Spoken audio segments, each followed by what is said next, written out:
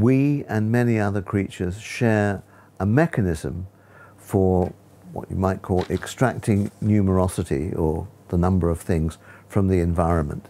It's really very important for all sorts of creatures and for all sorts of reasons. Extracting numerosity from the environment. What does that mean? What I mean by this is that a fish needs to know how many other fish are in a shoal so it can join the larger shoal. So the numerosity of fish in shoals is important. Lions need to know how many invading lions into their territory there are. Usually this is done through sound, they can hear them coming, so they can decide whether to flee or to fight. So this is just extracting the number of things from the environment. Because they have to decide what's relevant in the environment.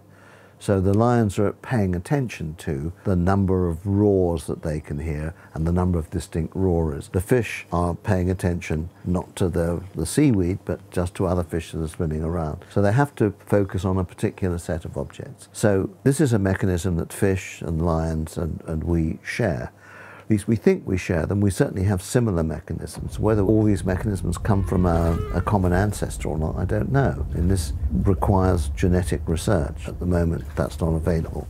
Professor, do animals need to know the number, or do they just need to know a greater than, equal sort of thing? Do they know, okay, there's more on the left than the right? They don't need to extract an actual number, do they? Sometimes that's enough. Having a, you know, a rough sense of how many there are may be sufficient. So if you've got a lot of fish swimming around in a shoal, let's say 100 fish over here versus 50 fish over there, you're not going to be able to enumerate them. But you've got to have a way of, of extracting at least approximate numerosity from that. The way in which that's done is probably something like this. You kind of extract the approximate density of the fish, then you see how big an area these fish cover. So you can, it's basically density times area. Then fish fish can do that. Sometimes you need to do it exactly. So if there are three lions defending against four lions, they need to know that there's just one more of them. Then they have a decision to make. If we're four and they're three, then we attack, we defend our territory. So sometimes you need to know it exactly. Sometimes approximate will do. One proposal came out in the early 80s is that we all possess an accumulator. And so the more things that you experience, the fuller the accumulator gets. Let me give you a, a helpful analogy. Supposing I've got a, a jug let's say with marks on it. And for each thing I see, I have a cup of water and I pour it into the jug. So for each thing, however big the thing is, it's the same cup of water. Or wherever the thing is, it's the same cup of water. So if I see three things, then the jug will be filled to there. If I see four things, it'll be to there. Five things to there, up to about 10 things. This is a very simple mechanism. There's evidence now, at least in frogs, that there's a particular neuron that does this in monkeys, there's evidence that there's a mechan- uh, there's single neurons that seem to behave like one of these accumulators. That is, the more things that the monkey sees, the more this particular neuron fires. So there's, I know this is number five, so I can say this, a monotonic relationship between the number and the firing rate. In the case of other animals, it may not be firing rate, it might be done in some other way. We don't know. Uh, it may be done within a neuron or it may be done in terms of connections between neurons. Let me give you an example from frogs. Now, most people think frogs are pretty stupid, but here um, they perhaps tell us humans something that we ought to have known all along. So imagine these, these particular species of frogs that have been studied. They're in a swamp and they want to mate, and the male wants to mate with a female, so it has to attract a female. The female can't see it, and he can't see the female. So it's mating is done by uh, by sound. So what the male frog has to do is well, the choice of a mate, at least, not the mating itself. Not the that's true, not the mating itself, but the choice of a mate uh, depends on sound. What the male has to do, it has to make it appear that it is the most, the fittest male in the swamp, and it does this by making a series of noises called chucks. I'm, I'm Okay, I'm not very good at frog noises. The female will be attracted by the number of chucks in a phrase because the more chucks you can make, more fit, more substantial you are. Now, number's important. It's better than volume because volume will depend upon how far away you are from the male. But number doesn't depend on how far away you are from the male. And it turns out that frogs compete with each other So if I make five chucks, my neighboring male might make five plus one chucks. And this might escalate until you reach the limit of how much breath you can have to make a, a number of chucks in a phrase. It's like an auction. That's, it is, it's a bit like an auction. Now, why this might, I don't know if it applies to humans that if you make a lot of noise or more noises, you're more likely to attract a mate.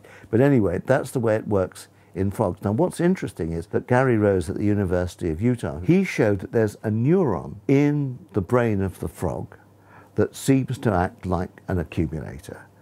Uh, so it, it hears the number of chucks made by uh, another frog and it thinks, hello, he's made five, I have to make an extra one. So then it will generate an extra chuck to make it six chucks. So Uh, it's not only counting the number that the other guy made, it has to count how many it makes. That's right. It has to, yeah, I've only been making four, so I better, I better up my game. So it, it looks as though there's, there is uh, something rather like an accumulator in the, in the brain of, of the frog. Now, we don't know much about it for other, the brains of other creatures, and we don't know whether there's an equivalent mechanism in our brain, but there's no reason why there shouldn't be. So, for example, when we think about timing, there's a gene which you can find in the fruit fly, which we're only very, very distantly related to, called TIM, which is a timing gene which responds to a particular interval. Now, it turns out this TIM gene is conserved in us. Now, we use it in a rather different way from the, the fruit fly, and it combines with other genes and other mechanisms to make our timing mechanism more general uh, and more detailed than the fruit fly.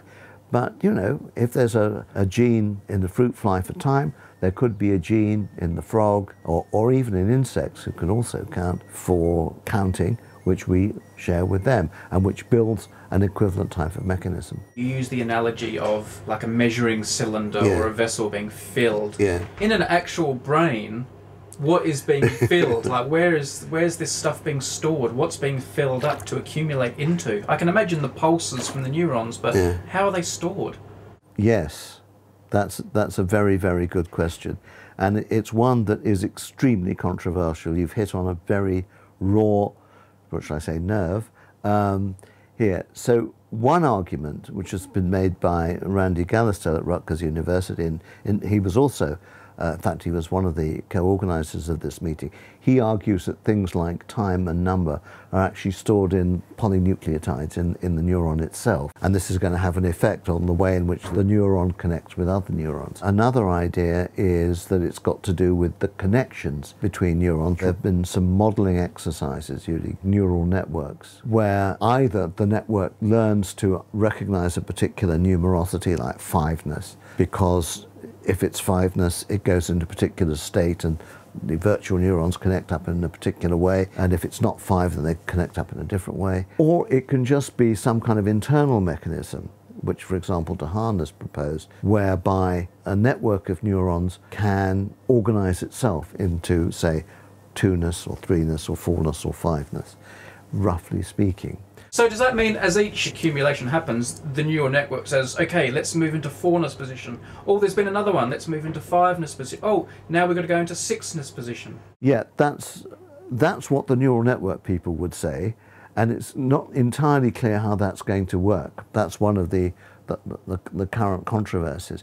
But in a simple accumulator mechanism, it will be a single neuron that responds to a particular numerosity of whatever it happens to be tuned to. If it's, let's say, tuned to the number of sounds it hears, that's what it will respond to. So it'll respond more to fiveness than to fourness. And in fact, there is some evidence that in monkey cortex and indeed in a kind of homologous part of bird brain, there are individual neurons that respond preferentially to particular numerosities. So if the monkey sees an array of five, this neuron will respond more to five than to fourness or to sixness. And similarly in the bird brain. There is evidence for single neurons acting as an accumulator. In fact, in the monkey brain, the number neurons seem to be in a cleft in the parietal lobe. So the parietal lobe's around there, and there's a kind of a fold. At the bottom of the fold, technically the fundus, there are these number neurons. If the number neurons are down there, on the lateral surface here, there are going to be accumulator neurons. sometimes called summation neurons, which fire more when they experience more things. And it's believed, though it's not been yet demonstrated, that there's a connection between these neurons, these accumulator neurons, and the number neurons. So if this accumulator neuron gets to fiveness, then it will activate down here the neuron which preferentially responds to fiveness. So that's the way people think it works at the moment. If we've seen this accumulator perhaps working Yeah. in the frog, which is very exciting, why haven't we been able to see it in humans that we probably study even more than frogs? Why has it not shown itself yet? Ah, well, that's an interesting question, and, and that's because we can uh, use very fine electrodes to probe the brains of frogs. And at the moment, we're not allowed to do that with uh, humans, unless, for example, it's in the course of surgery.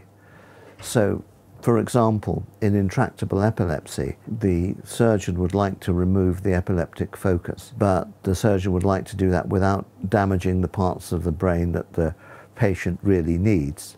So you have to find out which bits of the brain are, are really important to the patient. And what you do is you open up the skull, you put a grid of electrodes on the exposed brain, and then you see with various tests which parts of the brain, rather selectively now, just a few thousand neurons, respond, let's say, to speech or to particular words, or in this case, to particular numbers. And so, what, for example, Joseph Parvizi in, at Stanford has done is he's found neurons or perhaps neuron clusters that respond to particular digits. So, in part of the brain down there, um, which is where you do some of your visual processing, there seem to be little clusters of neurons that respond to the digit five, though not to fiveness, okay, not to the numerosity five. And now there's some other work done by Carlo Semenza in Italy at the University of Padua. And what he does is something slightly different. With epileptic patients, what he does is he stimulates the brain in such a way that it temporarily disables the bit that's being stimulated. So he's been looking at calculation. So there are particular bits of the brain which, if you stimulate them, stops you doing addition but not multiplication, and another bit that stops you doing multiplication but not addition. So it looks as though, although addition and multiplication are spread over several different sites, each particular site, just a few thousand neurons, is doing a particular arithmetical operation. These people have to be conscious for, for them to know. Yes, they have to be conscious. That's right. So we open up the, well, not me personally, but the brain is opened up and the person has to be conscious, or, or else the, the surgeon doesn't know what the different bits of the brain are doing. Who are the people that really want to know this, the inner workings of how our brain's dealing with numbers? One of the problems is that uh, not everybody is very good at learning arithmetic. Now, there are many different branches of mathematics, and uh, some people are not very good at arithmetic but are very good at geometry. We've tested some of those. Some people are not very good at geometry but are very good at arithmetic, and we've tested some of those.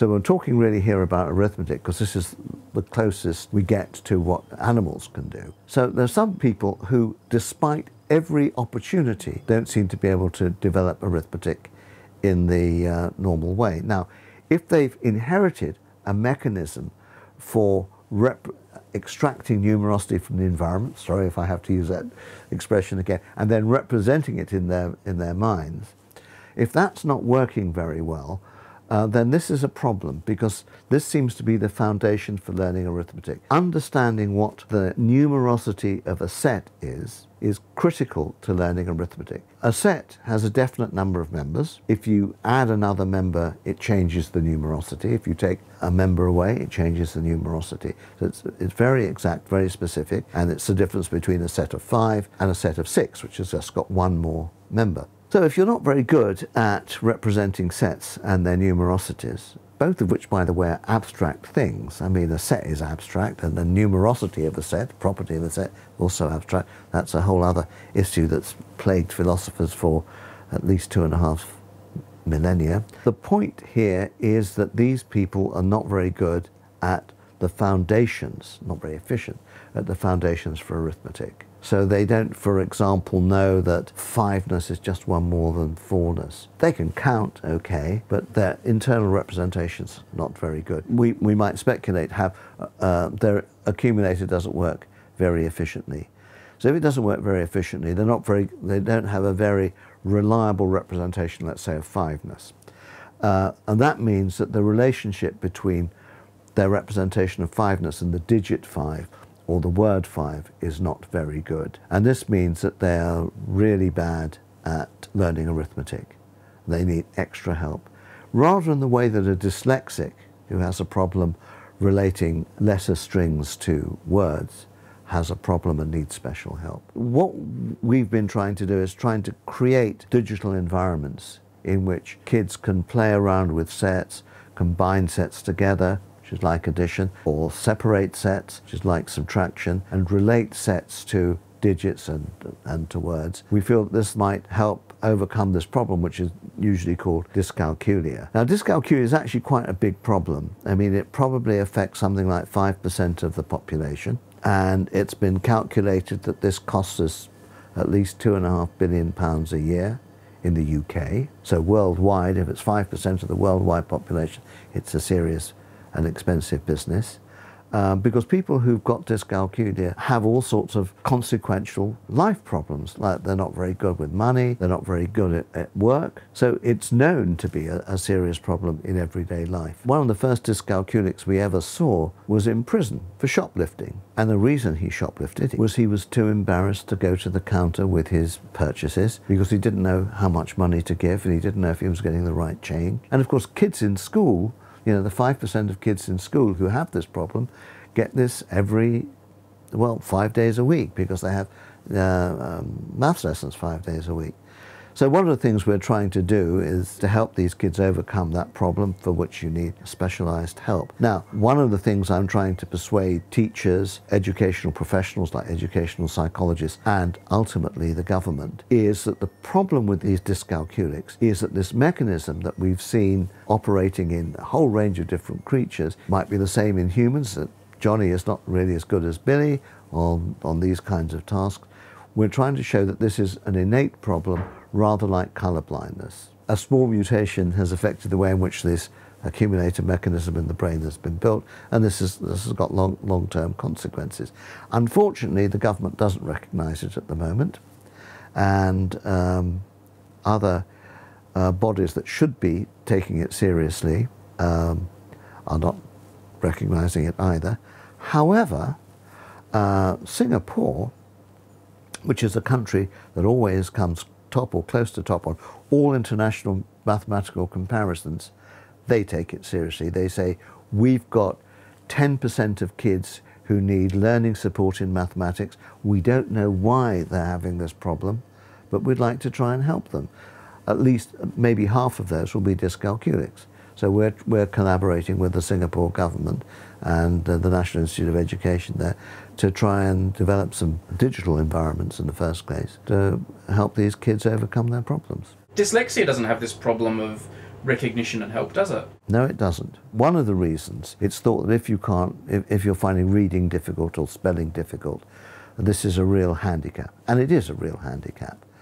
Also, a lot of celebrities have come out as dyslexic, uh, showing that it's possible to be successful even though you're dyslexic.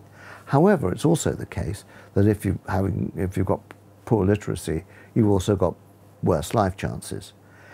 But it also turns out that if you've got poor numeracy, you've got even worse life chances than having poor literacy. But why isn't that coming out?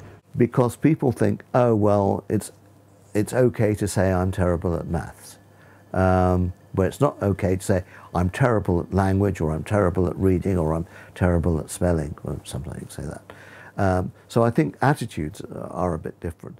Also, the other thing is that vastly more money has been thrown at the dyslexia problem than uh, has been thrown at the dyscalculia problem. Vastly more money, uh, both here in America and Europe. But of course, this is part of what I call the virtuous or the vicious triangle. Because there's no recognition, there's no money. Because there's no money, there's no research. Because there's no research, there's no recognition, and so on. Whereas if we could just intervene in one of those nodes in the triangle, maybe we could make a big difference. If we got better research, or more research, or more spectacular research, we get more recognition.